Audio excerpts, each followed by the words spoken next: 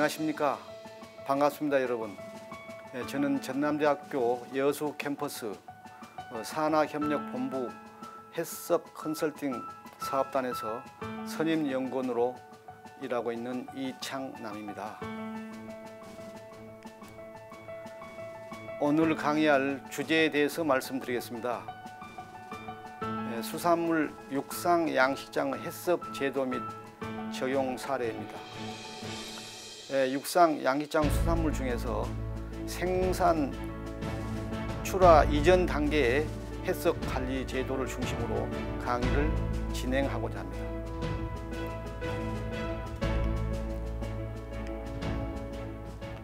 예, 수산물 육상 양식장 해썹 제도 및 적용 사례에 있어서 챕터 어, 1번은 수산물 생산 및 안전관리 현황입니다. 챕터 2는 양식 수산물에 대한 HACCP 제도 이해이고 예, 마지막 챕터 3번은 수산물 양식장의 HACCP 적용 사례에 대해서 어, 설명드리고자 합니다.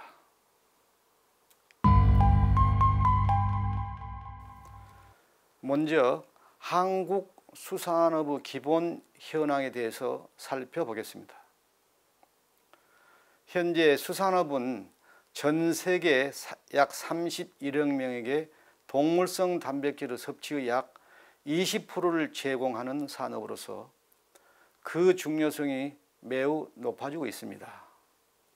한국의 수산물 자급률은 72.6% 2017년 기준으로 72.6%로서 최근 5년 동안 약4.4% 하락하였으나 전체 일반 식품 자급률 52.2%에 비해서는 그래도 높은 편을 차지하고 있습니다.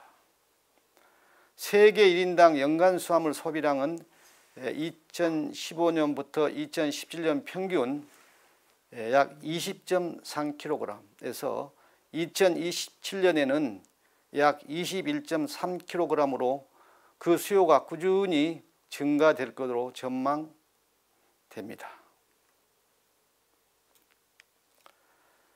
한국의 2017년 국내 1인당 연간 수산물 소비량은 65.9% 수준으로서 육류 50.7kg보다 높은 편입니다. 에, 이러한 수치로 볼 때 한국이 세계 수산물 소비 최강국으로 떠오르고 있습니다. 한국의 2019년 주요 수출품으로서는 김, 참치, 게, 굴, 전복 등이며 주요 수출 국가는 일본이 29.1%를 차지하고 있고 중국 20.8%, 미국이 11.8%, 마지막 태국 순위입니다. 한국은 세계 12, 14위 수산물 생산국이고 그 중에서 양식은 세계 7위를 차지하고 있습니다. 2017년 FAO 통계에 따르면 연간 생산량 한국은 연간 생산량이 약 330만 5천 톤이고 그 중에서 어획이 173만 7천 톤으로서 53% 비중을 차지하고 있고 양식은 155만 150만 6천 7천 톤으로서 43% 비중을 차지하고 있습니다. 세계 각 국가별로 그 순위와 그 다음에 생산량을 살펴보겠습니다. 먼저 1위 중국입니다. 에, 토탈 수산물 생산량은 7,600만 톤이고 그 중에서 어획이 어획 수산물이 1,700만 톤, 양식은 약 5만 8, 아, 5,800만 톤을 차지하고 있고 2위는 인도네시아가 차지하고 있습니다. 에, 총 토탈은 에, 약 2천만 톤으로 이를 차지하고 있고 그 다음에 어획 수산물이 650만 톤, 양식 수산물이 1,400만 톤으로서 약 양식이 두 배 이상 많은 비중을 차지하고 있습니다. 3위는 인도로서 960만 톤이 토탈 수산물 생산량이고 그 중에서 어, 어획 수산물은 470만 톤, 양식 수산물은 480만 톤을 차지하고 있습니다. 마지막으로 우리 대한민국은 전체 세계에서 14위를 차지하고 있습니다. 전체 토탈 수산물 생산량은 330만 톤이고요. 어획 수산물은 170만 톤, 그 다음에 양식 수산물은 150만 톤을 차지하고 있습니다. 대한민국의 어업 종사 어가수와 수산물 생산량을 살펴보겠습니다. 어업에 종사하는 전국 어가수는 5만 2,800 가구인데 그 중에서 주로 비중이 많은 지자체별로 어, 어가수를 살펴보면은 1위가 전남이 차지하고 있습니다. 전남은 어가수가 18,800어가이고 전체 비중은 35.7%를 차지하고 있습니다. 그 다음에 충남이 16.3% 전체 5만 2,800 가구 중에서 16.3%를 차지하고 있고 경남은 전체 중에서 15.4%를 차지하고 있는 음, 어가수, 어가수가 그런 현황을 나타내고 있습니다. 그 다음에 우리 한국의 통계청에서 어, 발표한 2017년 생산 수산물 생산량을 살펴보면은 전체 수산물 생산량은 375만 톤 정도입니다. 어업 부분별로 살펴보면은 1위가 천의 양식 231만 톤입니다. 몇 년 전만 해도 연근의 수산물이 1위를 차지하고 있는데 지금 현재는 천의 양식이 양식이 약 231만 톤을 차지하고 있습니다. 이 천의 양식은 내수면 양식을 제외한 바다에, 바다에서 어, 생산되는 어, 양천에 생산되는 수산물을 말합니다. 그 다음에 두 번째 비중이 많은 것은 연근의 수산물, 어획 수산물로서 93만 톤을 차지하고 있고요. 아, 세 번째로 많은 비중을 차지하고 있는 것은 원양업 수산물입니다. 약 4만 7천 4만 7천 톤을 차지하고 있습니다. 아닙니다. 정정합니다. 47만 톤을 차지하고 있습니다. 그리고 마지막 내수면 육지에서 어, 육지에서 이루어지는 양식하고 그 다음에 자연 어획 수산물을 포함한 내수면 생산량은 4만 톤에 불과합니다. 2017년도 어, 천의 양식업 생산 및 금액을 살펴보면은 생산량은 천의 양식 바다에서 어, 생산돼서 어, 나온 수산물은 그 양이 230만 톤 정도 됩니다. 아, 금액을 살펴보는 2조 9천억 정도 되고요. 그 다음에 주요 어종은 넙치류, 조피볼락, 참돔, 흰다리 새우, 굴, 김 등입니다. 여기서 넙치하고 조피볼락, 참돔은 에, 해상 가두리 양식장에서 생산되는 주요 어종이고요.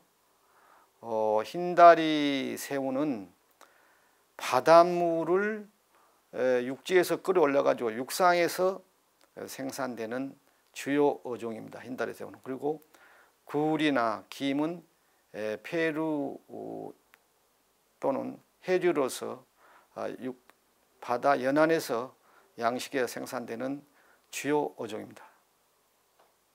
2017년도 내수면업 생산 및 금액입니다. 그러니까 육지에서 어, 생산되는 양식하고 어, 자연산 어획 수산물 생산량인데요. 생산량은 약 3만 6천 톤에 그렇게 많은 비중을 차지하지 않고 있습니다. 금액은 약 4,500억 아, 정도 됩니다. 4, 4,500억 정도. 그 다음에 주요 어종은 뱀장어, 송어, 샹어, 붕어, 메기, 제첩 등입니다. 뱀장어는 주로 육상에서 육상 양입장에서 어, 담수 어, 생산 어종으로서 어, 주요 어종을 차지하고 있고 송어는 주로 물이 맑은 산속 계곡에서 어, 어, 육상 수조를 만들어 가지고 어, 양식되는 주요 어종입니다. 샹어, 붕어, 메기, 제첩, 네, 제첩 등은 에, 육지에 있는 어, 저수지나 또 하천이나 이런 데서 어, 또는 두굴 어, 쌓아가지고 축제식으로 만든 그런 양기장에서 생산되는 주요 어종입니다. 그 다음에 아, 한국의 수산물 안전관리 체계에 대해서 어, 말씀드리겠습니다. 우리 한국의 안전관리 체계에 있어서 컨트롤 타워는 식품의약품 안전처에서 어, 그 역할을 하고 있습니다. 그 식품의약품 안전처 산하 기관의 해양수산부, 그 다음에 식품의약품 안전청, 지방청이죠. 식품의약품 안전청이고, 그 다음에 지방자치제 이렇게 세 기관에서 분야별로 안전성 음, 관리 체계를 담당하고 있습니다. 먼저 해양수산부의 산하기관인 국립수산물품질관리원에서는 관리원에서는 생산 출하 전 단계 수산물 안전성 조사와 저장 단계 수산물 안전성 조사, 거래 전 단계 수산물 이렇게 세 파트로 나눠서 안전성 조사를 담당하고 있습니다. 생산 출하 전 단계 수산물 안전성 조사라는 것은 바다의 양식장이나 육상 양식장에서 어, 생산을 양식을 해서 출하 전에 출하 전 그러니까 시중에 출하하기 전 단계에서 시루를 채취해 가지고 어, 안전성을 조사하는 것이고요. 저장 단계 수산물 안전성 조사라는 것은 일단 생산 출하 후에 생산 출하에 육상에 있는 저온 창고에 저장 단계 저장 단계에 있는 수산물을 어, 시료를 채취하고 시료를 채취해서 안전성 조사를 하고 있는 단계입니다. 저장 단계 수산물은 주로 어, 어획 수산물이 많습니다. 이른바 뭐 고등어라든지 이, 이 오징어라든지 갈치, 원양 수산물이나 연근의 수산물을 입한 후에 저장 단계에 저온 저장실에 보관 중에 있는 것을 그 시를 채취하고 안전성 조사를 하는 것이고요. 거래 전 단계 수산물 안전성 조사라는 것은 일단 수산물이 생산되거나 어획된 수산물이 입한장에서 경매를 하기 위해서 입탄, 입한장에 에, 주로 항포구에 있는 입한장에 수산물이 집화를 됩니다. 그럼 집화 단계에 에, 경매가 끝나기 전에 수산물을 채취해 가지고 안전성 조사를 하는 것이고요. 그 다음에 지방식품의약품안전청에서 담당하는 안전성 조사를 세부적으로 살펴보면은 유통 단계 중인 수산물 안전성 조사가 있습니다. 이 유통 단계 중에 수산물이라 하는 것은 시중에 소비자 식탁에 오르기 전에 횟집이라든지 또 뭐 마트라든지 또 백화점이라든지 이런 데서 소비자가 어, 구매하기 직전에 그러니까 그런 마트나 어떤 횟집에서 진열되어 있는 수산물을 채취해 가지고 안전성 조사를 하는 것이고 그 다음에 수입 수산물 안전성 검사는 외국에서 어, 수산물을 수입해서 통관 후에 바로 통관 후에 수산물 안전성 조사를 하는 것이고 또 때에 따라서는 통관 전에 수입수산물 검사도 이루어지고 있습니다. 그 다음에 외국이든 국내든 어떤 우리 인체에 해로운 이해 정보가 입수될 때 또 이해 요인이 파악이 될 때는 특별 검사도 지방식품의약품안전청에서 어, 담당을 하고 있습니다.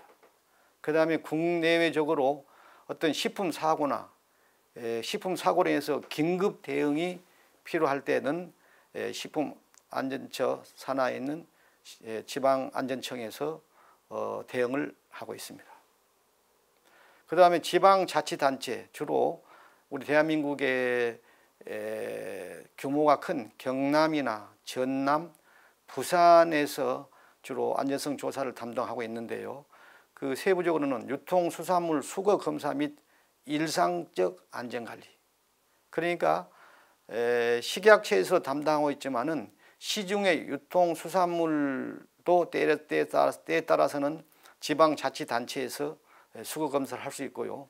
그 다음에 해양수산부나 지방식품의약품안전청에서 안전성 조사를 실시해서 부적합 수산물이 발생하면은 그 부적합 수산물에 대해서 어, 해수해서 폐기를 합니다. 주로 중금속이든 금지약품이 금, 금지약품이나 어떤 중금속 등 이런 물질들이 검출돼 검출됐을 때는 해수에서 전량 폐기를 하는데 그 역할을 지방자치단체에서 어, 하고 있습니다.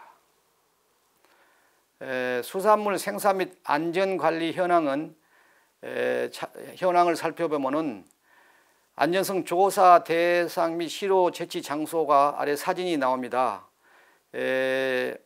생산 출하 전 단계에는 육상 양식장에서 직접 시루를 채취해서 조사를 하고 있고 해상 양식장에서도 어, 가두리 양식장을 주로 어, 그 장소에서 가두리 양식장 장소에서 생산 전 단계 수산물 시루를 채취 채취 후 검사를 하고 있습니다. 안전성 조사 시료 채취 장소는 또 저장 단계 저온 창고에 저장되어 있는 수산물에 대해서 시료를 채취해서 조사를 하고 있고 그 다음에 주요 입판장 항폭에 있는 주요 입판장에서 거래 전 단계 또 입판장 수산물을 어, 시료를 채취해서 안전성 조사도 어, 실시하고 있습니다. 식품위생법상 식품 기준 및 규격을 살펴보면은 중금속, 유기물질, 항생물질, 미생물, 독소, 방사능, 금지약품, 잔류농약, 일반 성분, 기타 물질 이렇게 10개의 분야에서 세부적으로 어, 총순, 칠순, 납카드몬 비소는 중금속이고 그 다음에 다이옥신, 뭐 벤조피린, PCBS, TBT, 그 다음에 CO 등 유기물질 이렇게 세부적으로 물질별로는 조사 단계별, 대상별로 어, 선별적으로 적용하고 있습니다. 예. 바다 해역 및 안전관리는 국립수산과학원에서 담당하고 있습니다. 예, 이를테면 바다 적조 관리, 또 PSP, ASP, DSP 등 폐류 독성 및 예찰 관리를 담당하고 있고 여기서 PSP는 설사성 폐동, ASP는 기억 상실성 폐동, 마지막 DSP는 설사성 어, 설사성 패독을 차지 조사를 하고 있습니다. 그 다음에 굴 등 패류에는 노로바이러스 안전 관리를 또 어, 국립수산과학원에서 담당하고 있습니다.